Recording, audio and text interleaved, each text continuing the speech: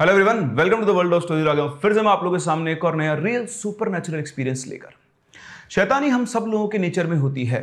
हमने कभी ना कभी, कहीं ना कहीं, किसी ना किसी के साथ कोई ना कोई शैतानी ज़रूर की है।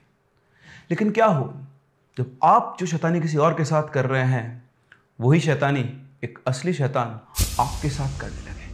जी हाँ कुछ ऐसा ही हो हमारे आज के एक्सपीरियंस में, जो कि है कोटा के ही एक जे एस्पिरेंट का रियल एक्सपीरियंस वो अभी भी कोटा में ही है, अपनी जेई की तैयारी को परस्यू कर रहे हैं, लेकिन ये उनके साथ हुआ था लास्ट ईयर जब ये अपने हॉस्टल में थी। तो कहानी में आगे बढ़े, उससे पहले अगर आपके पास वैसे कोई रियल एक्सपीरियंस है तो आप हमारे साथ शेयर कर सकते हैं। मेरी Gmail ID which is prince of chemistry twenty two at the rate Gmail dot com पर, या फिर आप मुझसे मेरे पर्सनल इंस्टा हैंडल पर भी कनेक्ट कर सकते हैं which is prince seven eighty one nine eight seven ये कहानी है सोनाक्षी, पिया, स्वीटी और संजना की। ये सभी लोग कोटाए जेई की तैयारी करने के लिए और चारों एक हॉस्टल में रहा करते थे। इनमें जो सबसे ज़्यादा क्लोज थे, वो थे पिया और सोनाक्षी। क्योंकि ये दोनों जब आए थे तो इनके साथ साथ इनके पेरेंट्स भी थे और ये आपस में मिले थे। जो पिया के पेरेंट्स थे, उन्होंने सोनाक्षी की एडमिशन की प्रोसेस के दौरान बहुत हेल्प की थी। तो इन दोनों के फैमिलीज़ के बीच में थोड़ा एक दो दिन साथ में रहे थे तो अच्छा बॉन्डिंग बन गया था। और दूसरा क्या होता है, जब कोटा बच्चे आते हैं तो अपना घर छोड़ के पहली बार आते हैं, ठीक है? तो किसी ना किसी का साथ चाहिए होता है। तो जाने से पहले पिया की मम्मी ने सोनाक्षी से कहा कि बेटा, इसे ना अकेले सोने की आदत नहीं है तो कुछ दिन तुम इसके रूम में इसके साथ सोना। तो इनका जो हॉस्टल था, उसमें पिया और सोनाक्षी का रूम आमने सामने था, बगल में एक और रूम था और आगे जाकर कॉरिडोर में ही स्वीटी और संजना, जिनकी और दो दोस्त थी, उनका रूम था। पिया और सोनाक्षी, इन दोनों का बैच भी सेम था तो ये दोनों ही साथ में क्लासेस जाया करते थे। और जैसा कि उसकी मदर ने कहा था कि भाई, तुम पिया के साथ सोना तो जब से ये लोग हॉस्टल में शिफ्ट हुए थे, सोनाक्षी कभी भी अपने रूम में नहीं सोई। इनको करीबन 20-25 दिन हो चुके थे। ये पिया के साथ ही उसके रूम में सोया करती थी। और आप जानते हैं, जब ये रूम पार्टनर्स बन जाते हैं तो बॉन्डिंग और ज़्यादा अच्छी हो जाती है। अब घर वाले तो इनको छोड़ के जा चुके थे। क्लासेस वगैरह इनकी शुरू हो गई थी। लेकिन शुरुआत में क्या होता है ना, बिल्कुल चिल माहौल होता है। अच्छा पहली बार अब आप घर से बाहर निकले हो, हॉस्टल में हो, है ना? फुल फ्रीडम होती है। घर वालों को प्रेशर नहीं होता है। तो ये सोनाक्षी थी, ये थोड़ी चुलबुली थी, शैतान थी ये। इसको ना दूसरों को परेशान करने में, शैतानी करने में बड़ा मज़ा आता था। तो ऐसे ही रात को पिया और सोनाक्षी दोनों बैठे हुए थे, आपस में बातें कर रहे थे। तो बातें करते थे, सोनाक्षी बोलती, यार, एक काम करते हैं। स्वीटी और संजना को डराते हैं तो बोलती, कैसे? बोल, तू मेरे साथ चल, हम चलेंगे और उनका गेट नॉक करके भाग जाएँगे तो उन्होंने क्या किया, रात के करीबन एक या डेढ़ बज रहे थे, वो चुपचाप से धीरे धीरे दबे पाँव गए। उन्होंने दोनों का गेट नॉक किया एक साथ और भाग के वापस अपने रूम में आके बैठ गए। अगले दिन सुबह उठे तो सुबह उठ के दोनों उसके, उनके पास पहुँचे उनसे बोलते हैं कि यार, रात को ना किसी ने हमारा गेट नॉक किया। तो उन्होंने बोला हाँ यार, रात को करीबन एक डेढ़ बजे के आसपास हमारा भी किसी ने गेट नॉक किया था। तो ये इंश्योर कर लिया उन्होंने कि वो दोनों ये ना सोचें कि इन दोनों ने ये काम किया है। अब पहली रात जब प्लान सक्सेसफुल हुआ तो सोनाक्षी दिमाग में थोड़ा अलग लेवल आया। उसने क्या किया यूट्यूब से एक पायल के बजने की आवाज़, है ना, जो कि आप समझते हैं हॉरर मूवीज़ में भी आती है, वो डाउनलोड कर ली। और अब नेक्स्ट लेवल था और रात को वापस से पहुँची दोनों के दोनों फ्रेंड्स दो बजे के आसपास। उन्होंने अपना फ़ोन चालू किया तो उसमें पायल की आवाज़ आ रही चलने की और जैसी आवाज़ है उन्होंने उनका गेट नॉक किया। और इसके बाद वो पायल की आवाज़ को लेकर अब आप समझें, आप रात को सो रहे हैं या बैठे हुए हैं, पढ़ रहे हैं, जो भी कर रहे हैं आपके गेट के बाहर पायल के चलने और गेट नॉक करे तो क्या आप गेट खोलोगे? नहीं ना। तो उन दोनों ने भी गेट नहीं खोला, ये आराम से गेट नॉक करके आके अपने रूम में सो गए। और सुबह उठ के वापस से इन्होंने उनसे यही कहा कि यार कल रात को ना किसी के पायल पहन के चलने की वजह से। बोलती हाँ यार, हम दोनों को भी आ रही थी और उन्होंने हमारा गेट नॉक किया। तो इस तरह से ऑलमोस्ट हर दिन वो उन दोनों को परेशान करते थे। लेकिन चोरी कब तक छुपेगी? एक दिन ये सब बैठे हुए थे और ऐसे ही स्वीटी जो थी वो सोनाक्षी का फ़ोन चेक कर रही थी। उसने देखा कि उसके फ़ोन अच्छा ये क्या करते थे ना? एक जना नॉक करता था और दूसरा वीडियो बनाता था। तो वीडियोस उसके अंदर पड़े हुए थे। तो स्वीटी ने वो वीडियोस देख लिए और उसका उसने बोला अच्छा तो तुम लोग थे जो हम लोग को डराया करते थे। और उस दिन के बाद से इनकी ये वाली जो शरारत थी वो खत्म हो चुकी थी। तो अब जैसा मैंने आपको बताया कि सोनाक्षी जब से आई थी, तब से वो अपने रूम में नहीं सोई थी। वो दिन में जाती थी, अपनी बुक्स वगैरह लेती थी और वापस कोचिंग वगैरह जाने के बाद पिया के रूम में ही साथ में रहा करती थी। अब पिया भी सेटल हो चुकी थी। तो उस दिन सोनाक्षी ने कहा कि, यार देख, अब आई थिंक तू आराम से अपने रूम में रह सकती है। अब मैं अपने रूम में शिफ्ट हो रही हूँ। तो उसने बोला हाँ कोई दिक्कत नहीं है। पर हम पढ़ेंगे तो साथ में ही। तो बोलते, हैं हाँ पढ़, हम साथ में लेंगे, लेकिन अब मैं सोने जा, अपने रूम में ही जाया करूँगी। तो बोला, ठीक है। तो उस दिन पढ़ाई वढ़ाई खत्म करके कोचिंग से आने के बाद ये लोग रात को करीबन एक बजे के आसपास सोनाक्षी जो है अपने रूम में आई। तो आज पहली बार वो अपने रूम में सोने आई थी और अपना सामान वामान रख के वगैरह रख के वो अपने बेड पे सोई। और जैसे बेड पे वो लेटी, उसे बेड में से इतनी गंदी और तेज़ बदबू आई जिसको मरे हुए जानवर की बदबू होती है ना, बहुत गंदी बदबू आ रही थी उसको। वो लेटते ही वापस उठ गई। उसने देखा तो रूम में और कहीं बदबू नहीं थी, उस बेड के ऊपर बहुत ही गंदी बदबू आ रही थी। वो फटाफट से वापस पिया के पास गई और उसको बुला के लेकर आई।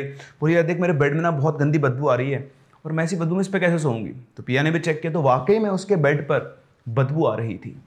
तो फिर से उस रात वो वापस से पिया के रूम पे हुई। तो पिया ने उससे बोला कि, यार, एक काम करना, तू कल वार्डन को बोल के तेरा बेड चेंज करवा लेना। तो स्मेल वगैरह का इशू हो जाएगा, फिर वापस आ जाना। बोलती हाँ यार, यही करना पड़ेगा। तो अगले दिन सुबह होते ही वो वार्डन के पास गई। वार्डन से उसने बोला कि, मेरे बेड पे इस तरह से बदबू आ रही है। तो आई वार्डन की बदबू कैसे आ सकती है? उसने आया चेक करवाया। उसने अच्छे चारों कोने सूँगे बेड के, बोले, कहाँ आ रही बदबू? इधर सोनाक्षी ने भी चेक किया तो वाकई में उसके बेड पर कोई बदबू नहीं थी। वो समझ में नहीं आया। रात को बदबू थी पी ने भी बोला कि हाँ रात को बदबू रही बोलते, तुम लोग पागल हो गई हो। ठीक है, चुपचाप रहो, कोई बेड वेड चेंज नहीं होगा, सब ठीक है। ठीक है? उसको लगा, पता नहीं, हो सकता है, कहीं और से स्मेल आ रही हो। फिर से कोचिंग गई, रात को वापस सोने आई, जैसे बेड पे लेटी, वापस उसको बदबू आए अब रात को एक बजे, दो बजे वार्डन को भी कैसे बताए तो उसे लगा, ठीक है, फिर से पिया के रूम में सोता। इस तरह तीन चार दिन गुजर गए। दिन में सुबह उस बेड में से कोई बदबू नहीं आती थी, लेकिन जब रात को वो सोने जाती, तब उस बेड में से उसको बदबू आती थी। अल्टीमेटली थक हार कर पिया और सोनाक्षी ने डिस्कस किया कि अरे, काम करते तो अपना रूम चेंज कर दें। अब दिक्कत ये थी कि रूम हॉस्टल में और भी खाली नहीं था। जस्ट सोनाक्षी के पास में एक रूम था, जो कि मेंटेन नहीं था। वो बिल्कुल ही मेंटेन रूम नहीं था, बंद भी था और उन्होंने देखा तो थोड़ा अजीब सा ही वो रूम था। तो पिया ने बोला तो ये वाला रूम क्यों ले लेती है? पास वाला। तो बोलती यार, ये ये रूम कुछ अजीब सा है। बिल्कुल खंडर सा लगता है मेंटेन भी नहीं कभी खुलता भी नहीं है। तो बोलते तो पागल है क्या? डर रही है? हम दूसरों को डराते हैं तो खुद डर रही है? बोलते, नहीं नहीं, मैं डर नहीं रही हूँ, लेकिन पता नहीं क्यों रूम अजीब सा लग रहा है। तो बोलते, कुछ अजीब सा नहीं है। कम से कम इस तरह से उसमें बदबू तो नहीं आएगी? उसको भी लगा, उसने सोया थोड़ी देर, फिर बोलती हाँ यार, ठीक है, यहाँ तो वरना मैं कभी सो ही नहीं पाऊँगी, तेरे रूम पे मेरा डेरा डला रहेगा। तो नेक्स्ट डे वो गई वार्डन के पास, उससे बोला कि, आप मेरा रूम चेंज कर दो। तो उसने मना कर दिया कि नहीं रूम वूम चेंज नहीं होगा। तो बोलते पड़ोस वाला रूम खाली हो दे दो। बोला वो पड़ोस वाला रूम साफ़ सुथरा नहीं है और मतलब मेंटेन भी नहीं है। तुम इसी रूम में रहो, दिक्कत नहीं है, तुम्हारे बेड में कोई बात नहीं बोलती नहीं नहीं, मुझे इस रूम में नहीं रहना, आप तो मुझे पास वाले तो बहुत जिद करके उसने वार्डन को मनाया और उसने उसको रूम अलॉट कर दिया। अब रूम जो उसको अलॉट हुआ, उसकी साफ़ सफ़ाई करवा दी वार्डन ने, उसके बाद वो अपना सामान लेकर उस रूम में गई। तो जब पहली बार वो उस रूम में गई तो उस रूम में एंटर करते ही सोनाक्षी को फील हुआ बहुत बढ़िया वाला टेम्परेचर डिफरेंस मैं आपको बता दूँ कि मई जून में Kota is like a furnace यहाँ का टेम्परेचर 44, 45 इवन कभी कभी 46, 47 तक भी पहुँच जाता है। बहुत गर्मी होती है ठीक है? सभी हॉस्टल रूम्स में एसी लगे हुए होते हैं। लेकिन ये जो रूम था इस रूम में ना कोई पंखा चल रहा था ना एसी जैसे उसने अंदर कदम रखा उसको एक ठंडी बिल्कुल ठंडा एहसास हुआ ऐसा लगता है किसी ने रूम में एसी चला के छोड़ दिया हो। उसको बहुत अच्छा लगा इतना ठंडा रूम वाह, यहाँ तो ना एसी की ज़रूरत है, ना पंखे की ज़रूरत है। वो वापस से बाहर निकली, देखा तो बाहर गर्मी थी और अंदर सर्दी थी। उसने लाइट ऑन की रूम बिल्कुल साफ़ सुथरा था। उसने अपनी बुक्स वगैरह उठाई अरेंज की बेड पे जाया बेड वगैरह था, वो सब कुछ लगा हुआ था आराम से। बेड पे जाकर वो बैठी। तो सो बेड जब वो बैठी तो बेड पे बहुत अच्छा ठंडक सा उसको एहसास हुआ। ऐसा लग रहा था कि मतलब बेसिकली होता है ना वो जेल वाले बेड होते हैं जिनको ठंडा कर दो, ठंडे रहते हैं। तो बहुत अच्छा कूलिंग सेंसेशन था उस रूम के अंदर। उसको देख के उसको थोड़ा अजीब सा तो लगा, पर उसने इतना ध्यान नहीं दिया। उसे लगा कि हो सकता है कि रूम का स्ट्रक्चर ही ऐसा हो कि ठंडा रहता हो। लेकिन एक्चुअली ऐसा नहीं था। मैं आपको बता देता हूँ। ये जो हॉस्टल था, ये चार फ्लोर का हॉस्टल था। फोर्थ फ्लोर पर ही इसका रूम था। इनके हॉस्टल के साइड में सड़क जा रही थी, जिससे सीधी धूप इस रूम पर पड़ा करती थी। मतलब आर्किटेक्चर वाइज ऐसा कुछ नहीं था कि वो रूम अपने आप ठंडा रह सकता हो। तो अपना सामान वामान जमाने के बाद, सोनाक्षी जाती है वापस, उसको कोचिंग का टाइम होता है खाना वाना खा के वो कोचिंग जाती है। कोचिंग से आने के बाद शाम को वो पिया के साथ वही, जैसे उनका था ग्रुप स्टडी करती थी। फिर रात को करीबन एक बजे वो अपने रूम में वापस सोने आती है। तो जैसे वो रूम में आती है, बिल्कुल वापस जैसे वही मतलब ये मान लो राजस्थान से वो सीधा जम्मू कश्मीर या फिर शिमला पहुँच गई जहाँ बिल्कुल ठंडक का एहसास हो रहा बढ़िया वो आती है, बेड पर लेटती है, और बेड पर लेटते तो जैसे मानो जन्नत आ गई हो। बिल्कुल ठंडा बेड। 45 डिग्री की गर्मी में अगर आपको 20 डिग्री सेल्सियस के ठंडे बेड पर सोने को मिल जाए तो आप सोच सकते हैं आपकी बॉडी को कितना आराम मिलेगा। तो आके लेटी और लेटते उसे बड़ा बिल्कुल ठंडे का एहसास हुआ। जनरली उसको कुछ हेल्थ इशू था सोनाक्षी को। उसको बेड पर लेटते ही नींद नहीं आती थी। करीबन आधा एक घंटा उसको मिनिमम लगता था। लेकिन आज बेड पर लेटने के पाँच मिनट में ही उसे इतनी गहरी नींद आई कि वो सीधी सिर्फ़ सुबह ही उठी। सुबह उठ के उसने सोचा कि आज मैं इतनी जल्दी सो कैसे गई और इतनी लंबी गहरी नींद? तो उसे लगा हो सकता है कल की शिफ्टिंग वगैरह में वो थक गई हो। इसलिए उसके साथ ऐसा हो उसने चीज़ों के ऊपर ध्यान नहीं दिया। अब उसका यही डेली शेड्यूल था सुबह उठा करती थी, अपना पढ़ाई करती, फिर पिया के साथ जाके फिर ये मेस में खाना खाते कोचिंग जाते, वापस आते, रात तक पढ़ते लेट तक और एक दो बजे के आसपास अपने रूम में सोने आ जाती। अब हर दिन धीरे धीरे चीज़ें उसके साथ कुछ अलग होने लगी। रूम का टेम्परेचर वगैरह सब ठीक वही रहता था, ठंडा रहता था। लेकिन अब जब वो सोती थी तो उसको अजीब अजीब से सपने आते थे। ऐसे सपने उसको पहले कभी नहीं आया जब से वो आई है। लेकिन अब उसके सपनों में कई बार ऐसा उसके पिताजी से ना, नाइफ लेके खड़े हुए हैं। उसकी मम्मी उसे देखा जिनके चेहरे के ऊपर खून होता था। मतलब तो ना डरावने सपने। तो उसको बहुत डरावने डरावने सपने आया करते थे। बट वो सोचते थे कि हो सकता है ऐसे ही दिमाग में कुछ ना कुछ चलता रहता है इसकी वजह से आते रहते हैं।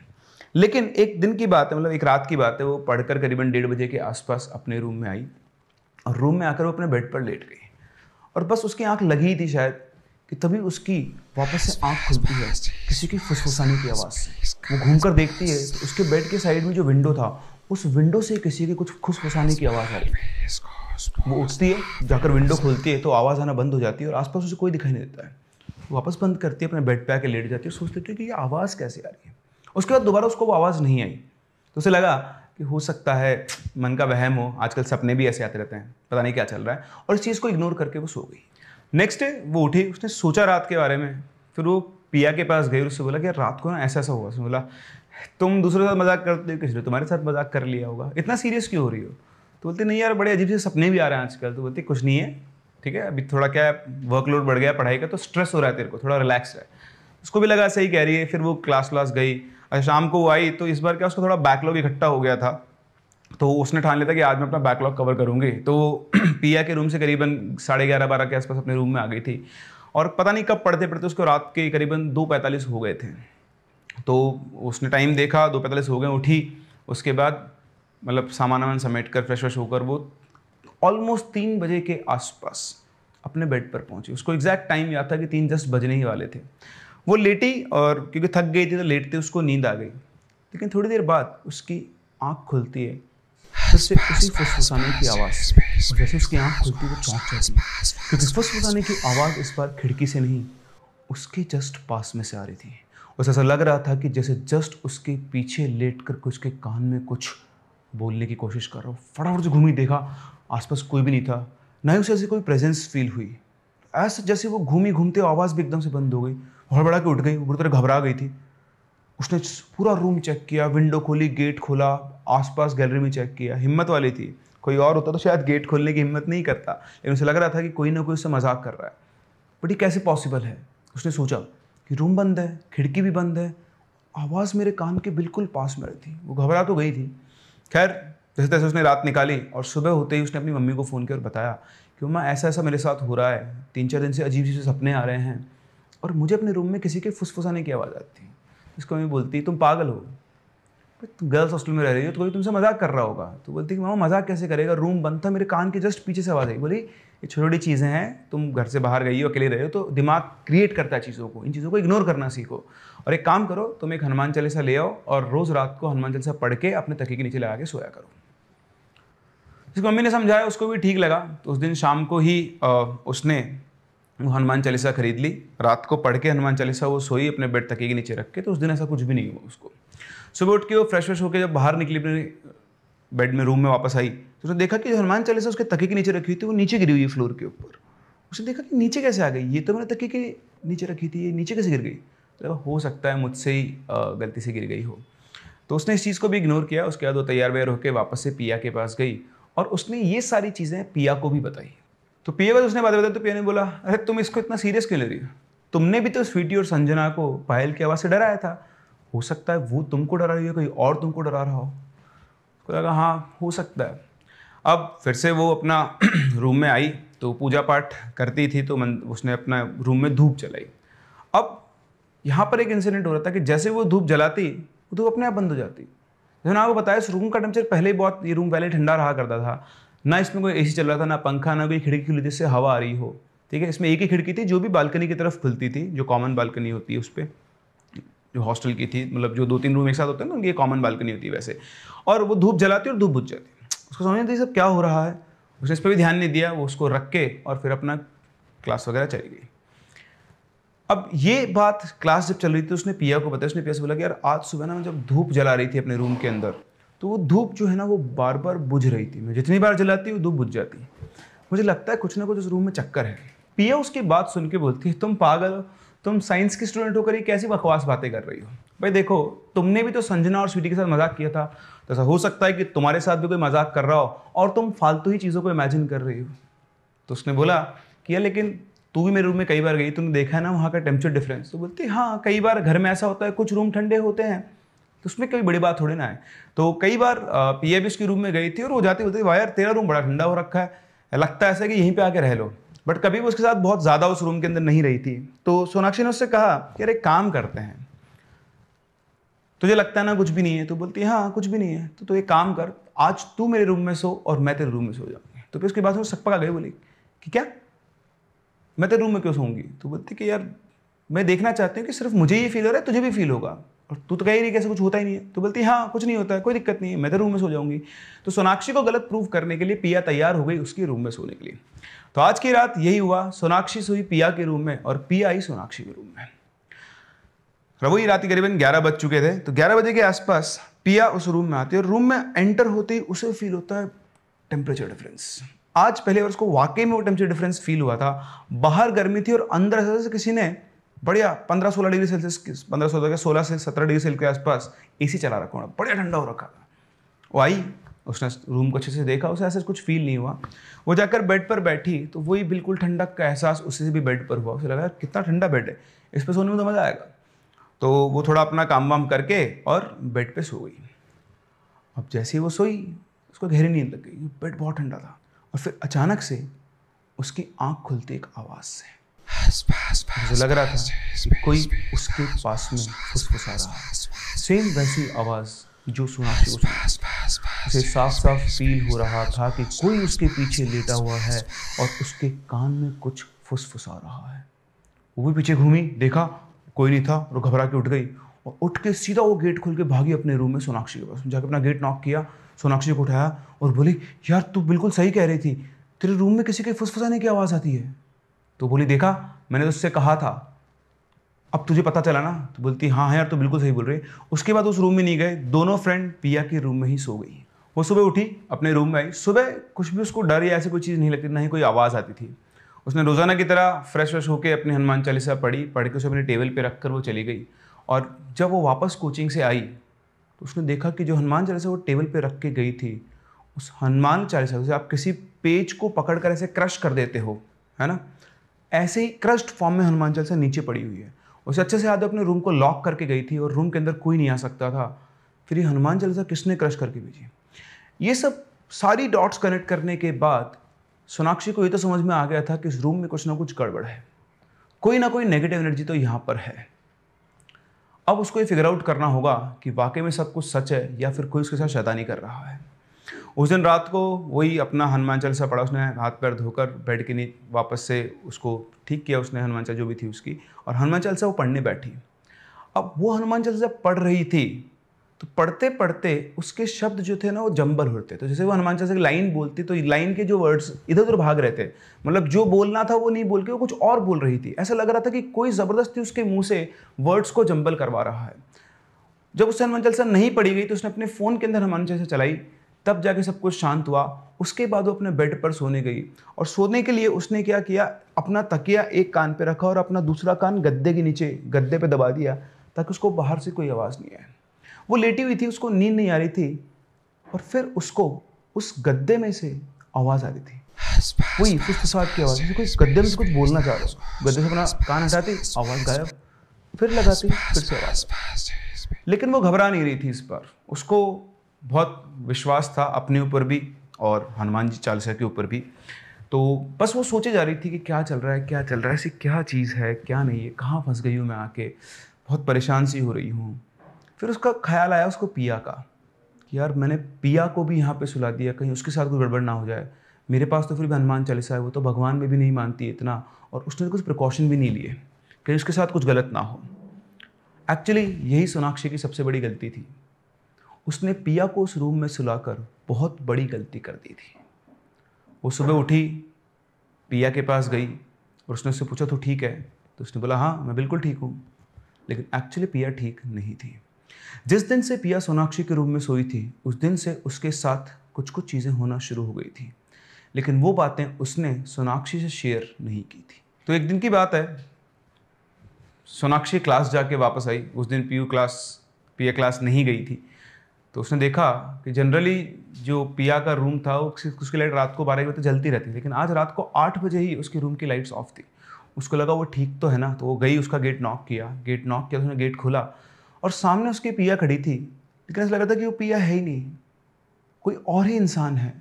उसने उसकी आँखों में देखा और पूछा, तुम ठीक हो ना?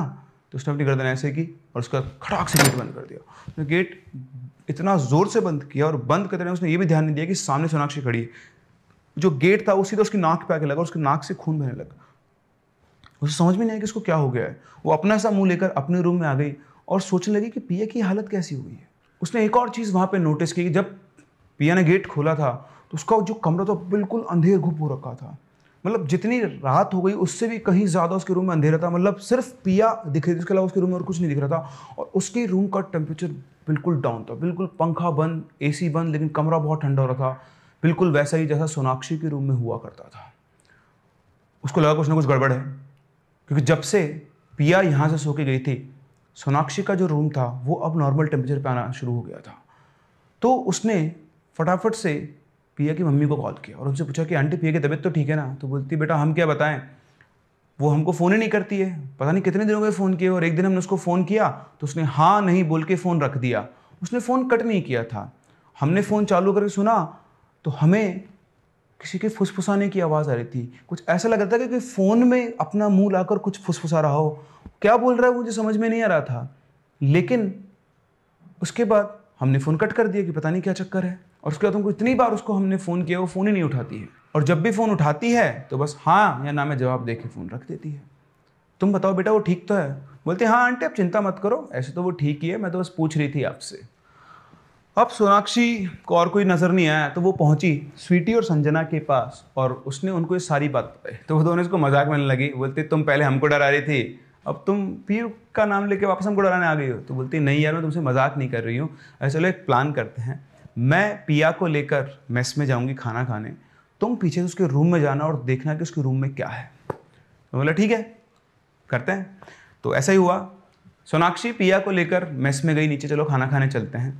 और जैसे वो लोग नीचे गए, बैठे अपने टेबल खाना खा रहे थे, उधर से पीछे स्वीटी और संजना पिया के रूम का गेट खोल के अंदर जाते हैं। जैसे वो अंदर जाते हैं, इधर वो अंदर जाते देखते हैं कि रूम बहुत ठंडा हो रखा है, बिल्कुल अलग ही टेम्परेचर यहाँ का था और बिल्कुल डार्क हो रखा था रूम। और जैसे वो गेट खोल के अंदर घुसे, इधर नीचे मेस में जो, आप सोचो फोर्थ फ्लोर पे रूम था और नीचे ग्राउंड फ्लोर पे मेस पे बैठी हुई थी और गेट खुलते हुए गर्दन उठाती और बोलती है, सोनाक्षी को देख के, किसने किया? तो बोलते, क्या किया? किसने क्या किया? और इतना बोल के वापस से वही मरमरिंग के वो फुसफुसाने के जो फुसफुसाने लगी अपने उसके सामने। तो उसको देखकर सोनाक्षी घबरा गई उसने बोला, क्या हुआ, क्या हो गया बोले, ऊपर चलो। तो बोलते, खाना तो खा लो। इतना बोल के वो उठ गई। और जाकर उसने लिफ्ट का भी जाने किया, सीधा वो सीढ़ियाँ चढ़ना शुरू हो गई। उसने फटाफट से स्वीट और संजना को कॉल किया और बोला कि, भाग भाग वहाँ से। और वो दोनों वहाँ से गेट लॉक करके भाग गए। और सीधी वहाँ पर पीयू पहुँची। उसने अपना गेट खोला और अंदर जाके गेट को बंद कर लिया। ये काफ़ी था, ये प्रूव करने के लिए सोनाक्षी को। कि इसके साथ कुछ ना कुछ तो चल रहा है। वो स्वीटी के पास गई और उससे पूछा कि क्या देखा तुमने रूम तो बोलती कि तू जो कह रही थी बिल्कुल सही है। हम उसके रूम में घुसे। उसने रूम में लाइट आने के सारे पाथ बंद किए हुए सारे विंडोज़ को उसने कवर किया हुआ है। रूम की दीवारों पर उर्दू में पता नहीं क्या क्या लिखा हुआ है। और उस रूम के अंदर बिल्कुल अजीब सी कुछ मरा हुआ होता है ना, ऐसी बदबू आ रही है। तो सोनाक्षी ने बिना देर किए पी की मम्मी को फ़ोन किया और उनको बोला कि, आंटी, आप जितना जल्दी हो सकते हैं यहाँ पे आ जाए। ऐसी ऐसी बात है। तो उसके जो मम्मी थी, वो उनके जो कुल पंडित थे, उनको साथ लेकर वहाँ से निकली। अभी भी उनको आने में करीबन दो दिन तो लगते ही, क्योंकि बिहार से वो उनको लेकर आए, गाड़ी, ट्रेन ट्रेन टिकट, सब कुछ। तो दो तीन दिन तक उसने पिया को कुछ नहीं कहा। बिल्कुल नॉर्मल तरीके से कुछ भी नहीं हुआ है, लेकिन वो ऑब्ज़र्व कर रही थी। वो हर टाइम पर पिया के ऊपर वॉच रखा करती थी, नज़र रखा करती थी। वो देख रही थी कि वो पिया जिसने कभी नॉनवेज को हाथ नहीं लगाया, उसके रूम पे चिकन के ऑर्डर आ रहे थे। को समझ में आ गया था कि कुछ ना कुछ यहाँ पर लोचा चल रहा है। जैसे आंटी और इसकी जो मम्मी आई, पिया की तो ये लोग उनको हॉस्टल में नहीं आए थे, पहले बाहर मिले। बाहर मिलकर उन्होंने दोनों को सब कुछ बताया। आने के बाद पंडित जी वहाँ हॉस्टल में आए, उन्होंने पूरा फ्लोर खाली करवाया। जो जितने भी लड़कियाँ रहती थी, वो सब वार्डन के पास जाके, उनके पास नीचे स्पेयर रूम था, उसके अंदर रही और फिर उस फ्लोर का शुद्धिकरण हुआ। पूजा वगैरह हुई, किसी को अलाउड नहीं था, पंडित जी ने पता नहीं क्या किया, क्या नहीं किया। लेकिन उस दिन के बाद पिया थोड़ी ठीक लगी थी। तो सब कुछ ठीक हुआ, हर रूम का जो सोनाक्षी रूम था उसका भी शुद्धिकरण क्योंकि वहीं से चीज़ें स्टार्ट हुई थी। उसके बाद पंडित जी ने बोला कि अब सब कुछ ठीक है, अब तुम लोग वापस से यहाँ पर रह सकते हो। लेकिन पिया की मम्मी ने उसको छोड़ना ठीक नहीं समझा, वो उसको अपने साथ ले गई। लेकिन सोनाक्षी को ये लगा कि पिया अब भी पूरी पूरी तरह से ठीक नहीं हुई है। क्योंकि जिस दिन पिया जा रही थी तो वो सोनाक्षी से मिलने आई और जाते जाते उससे अल्लाह हाफिज़ बोल के गई। उसके ये शब्द सुनकर सोनाक्षी चौंक गई क्योंकि पिया को उर्दू बोलना नहीं आता था। तो उसे कुछ ना कुछ लोचा लगा, लेकिन वैसे वो ठीक थी। बस अब वो उर्दू के वर्ड यूज़ करती थी। उसके बाद, दो चार दिन के बाद ही सोनाक्षी ने भी वहाँ से रूम खाली कर दिया। लेकिन आज भी जब भी वो पिया को कॉल करती है तो फ़ोन उठाते ही वो उससे, अस्सलाम वालेकुम बोलती है। दैट मीन्स अभी भी वो जो कोई एंटिटी थी, वो अभी भी पिया के साथ है। लेकिन वो अब घर में नॉर्मली ही रहती है। ऐसा सच का कोई बिहेवियर नहीं है। बाद में सोनाक्षी को ये भी पता चला कि ना सिर्फ़ चिकन का ऑर्डर पिया ने उस हॉस्टल के पास में कोई एक पालतू जानवर था मे बी बिल्ली, कुत्ता या कुछ और, तोता, चिड़िया, कुछ भी हो सकता है उसको भी मार के खा गई थी। सोनाक्षी अभी भी कोटा में है और अपनी जेई की तैयारी कर रही है, ये उनका ड्रॉप ईयर है और जैसा उनका कहना है कि इस एक्सपीरियंस के बाद एक बार बस उनका जेई क्लियर हो जाए, फिर वो दोबारा यहाँ पर आना नहीं चाहेगी। तो ये था एक एक्सपीरियंस जो हुआ सोनाक्षी के साथ और सोनाक्षी जो खुद शैतानी किया करती थी, किसी और को उसने एक भूत बन के डराने की कोशिश की, लेकिन उसे नहीं पता था। समय का चक्र घूमता है और वो घूमकर उसी के पास आ गया, लेकिन उसका ऐसा कोई इंटेंशन नहीं था, लेकिन उसकी एक गलती की वजह से, सिर्फ़ ये प्रूव करने की वजह से पिया के साथ प्रॉब्लम्स हुई। और शायद वो उन प्रॉब्लम से आज भी सफ़र कर रही है। आपको क्या लगता है इस अनसुलझी कहानी में कौन है जो वो एंटिटी जो पिया के साथ है? मुझे कमेंट सेक्शन में ज़रूर बताएँ। हम लोग मिलते हैं अपनी अगली कहानी में। तब तक के लिए keep loving and keep listening